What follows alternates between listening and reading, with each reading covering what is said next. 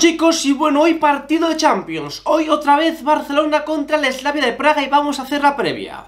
Partido otra vez complicado, y lo vuelvo a repetir como en todas las previas. No dormirse, máxima concentración, respeto al rival, por muy pequeño que parezca. No hay rival pequeño, no hay rival fácil, hay que correr. Hay que ponerle ganas, que luego pasa lo que pasa, como contra el Levante. Que la gente en la previa me decía, pero Mancuer, ¿qué dices? Es el Levante, lo gana fácil. ¿Cómo puedes decir que es un partido trampa, que es un partido difícil? Ahí está. Ahí está. El Slavia ya nos lo puso complicado la última vez. Vamos a ver hoy qué hace el Barcelona y con qué actitud sale. Para empezar, convocatoria rara y extraña de Valverde, dejando afuera gente importante. Ahora os diré quién. Así que bueno, vamos a dar la alineación que yo pienso que va a sacar Valverde y cómo pienso que va a ser y cómo tiene que ser el partido. Así que venga, vamos a ello.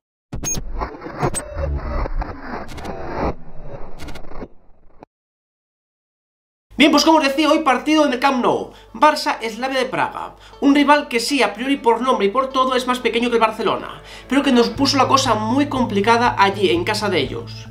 El Barça ganó, pero lo pasamos mal, sufrimos bastante, tuvieron muchísimas ocasiones de gol y Ter Stegen fue el mejor del partido.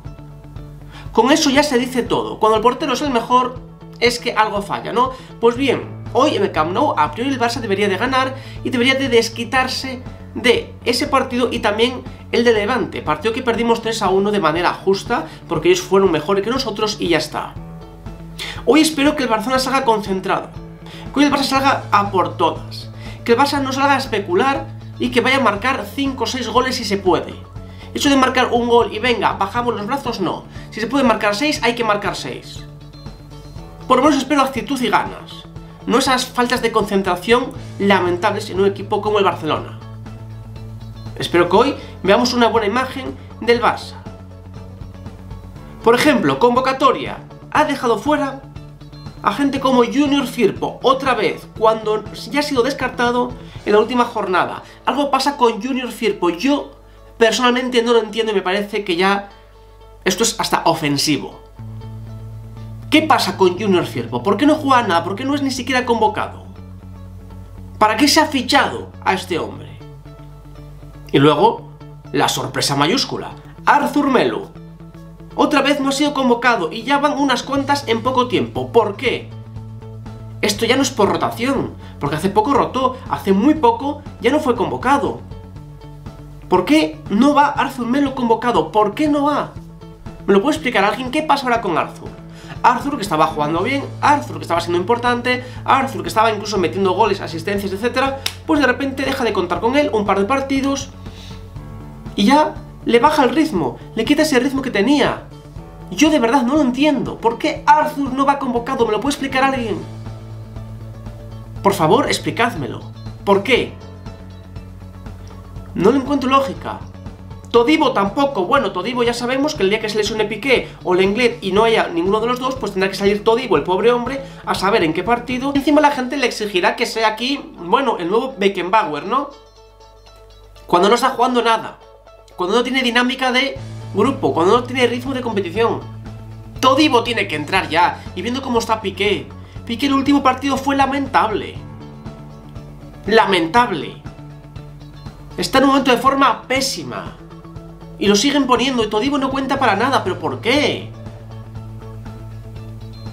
Es que de verdad. Por ejemplo, vuelve a Leñá, aleluya, jugará. A ver, a ver si juega a Leña después de la primera jornada que no jugó ya más. Y vuelve un Titi que parece que se ha recuperado de su lesión. Vamos a ver. ¿Cuánto dura? Si juega, si no juega. Vamos a ver qué pasa con el francés. Pero bueno, ¿qué once pienso que va a sacar hoy Valverde? Pienso que va a sacar esta aquí. Ter Stegen en portería, Semedo, Piqué, Lenglet y Jordi Alba en defensa. Centro del campo para Arturo Vidal, Sergio Busquets y Frenkie de Jong. Y arriba Leo Messi, Griezmann y Dembélé. Supongo que Messi de falso 9 o Griezmann, pero bueno, pienso que este va a ser la alineación. Sabemos que no está Luis Suárez, por lo cual pienso que la delantera será esta. Como mucho que cambie a Dembélé por Ansu Fati, quizás cuente más con él o incluso con Carlas Pérez. No lo sé, pero bueno, pienso que mmm, va a haber un falso 9. Tiene que haberlo porque no hay 9 puro. Ni Griezmann ni Messi son 9-9, por lo cual tiene que haber falso 9, sí o sí. Centro del campo, la única duda que tengo es Arturo Vidal. Yo, ya sabéis que lo pondría de titular. Pero quizás Valverde ponga a Sergio Roberto, a su Sergio Roberto. Que sabemos que tiene que jugar todo, siempre, siempre, en todos los partidos. Sea donde sea. Da igual la posición, pero Sergio Roberto tiene que jugar siempre según Valverde. Por lo cual, aquí dudo yo mucho y quizás sea capaz de sentar a Vidal para meter a Sergio Roberto. No lo descarto absolutamente nada esto. Así que vamos a ver qué once saca. Yo pienso que va a sacar este, pero puede haber alguna modificación como os digo. ¿Cómo veo el partido? Pues veo el partido que hoy el Barça puede desquitarse bastante en el Camp Nou, sabemos que en el Camp Nou el Barça se le da bastante bien, es un campo que, bueno, oye, es, es más grande, el Barça por lo que sea en el Camp Nou juega mejor, y quizás hoy el Barça haga un buen partido dentro de lo que cabe, ¿no? Y meta, por ejemplo, 3-4 goles, y ya parece que se ha olvidado lo que pasó contra Levante. Por supuesto, soy del Barcelona yo estaré muy contento y todos los barcelonistas estaremos contentos pero que no tape las vergüenzas y que no tape lo que está pasando en el Barcelona. Que nos dan una de cal y otra de arena, nos hacen un partido muy bueno y luego un partido nefasto. Y esto es lo que no puede ser. No hay regularidad y lo que no puede ser que hoy, por ejemplo, el Barça meta 5 goles y a la gente diga, ¡buah! Aquí se ha terminado el problema. No. No se ha terminado. Hoy lo normal es ganar con todo respeto a la Slavia de Praga, hoy lo normal es que el Barça gane, y gane fácil, es lo normal y lo lógico. Pero por supuesto yo no me fío, porque el Slavia nos lo ha puesto muy complicado ya. Y el Slavia, si tiene ocasión, tiene suerte y aprieta bien arriba el Barcelona, el Barça puede sufrir y mucho. Así que, cuidado. Ya os digo que yo personalmente no me fío.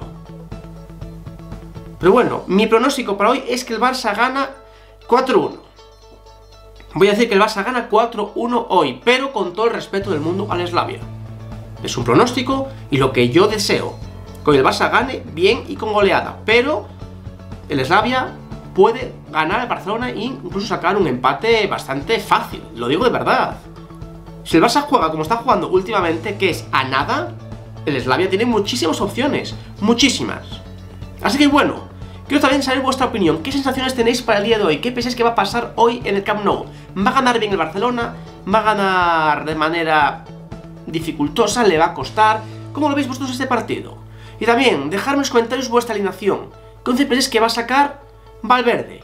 Y también, dejadme, ¿qué os parece la no convocatoria de Junior Firpo y sobre todo de Arthur Melo? ¿Hay alguna explicación posible para esto? ¿Le veis alguna lógica? Yo, sinceramente, no se la veo.